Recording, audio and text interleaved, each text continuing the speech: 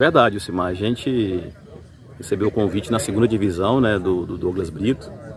Por mais que a gente faz parte da imprensa também, assim como você, recebemos um convite para participar desse projeto, apoiamos na segunda divisão. Aí, de início era apenas para participar e para poder realmente fomentar a base do academia, poder participar de competições nacionais.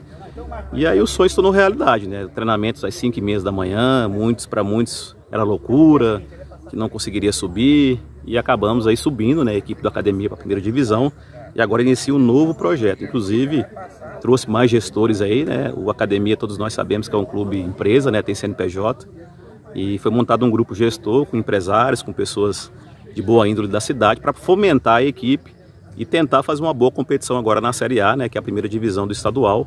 E eu tenho certeza aí com o Douglas Brito, com o Cleiton Santos, né? Com o próprio Dedé que está aí também, que é o presidente hoje da equipe da academia, acredito no potencial dessa equipe que vai poder fazer um bom papel e representar bem a cidade de Rondonópolis. Para ser sincero, foi o Douglas, né, cara? O Douglas e o Cleiton são pessoas que eu tenho uma amizade muito boa. O Cleiton, inclusive, é o cara que trabalha comigo na parte física na academia Rap 7, né?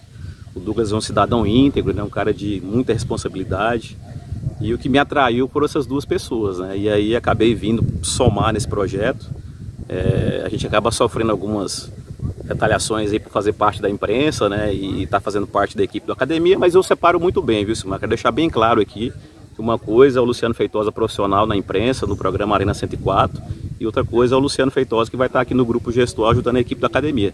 Temos que separar, falar o que realmente acontece, o que, que não é, o que, que é, para poder deixar bem claro para a sociedade. E a ideia, o Aranha, é fomentar realmente os clubes das cidades. Eu até costumo dizer que às vezes tem algum evento lá no Vila Aurora, a gente ajuda também, com rifa, com valores. União, já fiz parte da diretoria em 2016, 2017, ainda venho ajudando também, de algumas formas lá, ajudando sempre a equipe do União, e agora vamos também fortalecer a equipe da academia. Eu torço, o Aranha, sem sombra de dúvida, acho que assim como você, que também está parte da imprensa, e quem sabe a gente tem um clube forte um dia para jogar uma Série B, uma Série A do Campeonato Brasileiro. Acabei de comentar aqui com o Michel Pagno, que a União chegou na final da Copa FMF, fomenta todo mundo, fomenta a imprensa, fomenta o hotel, o comércio.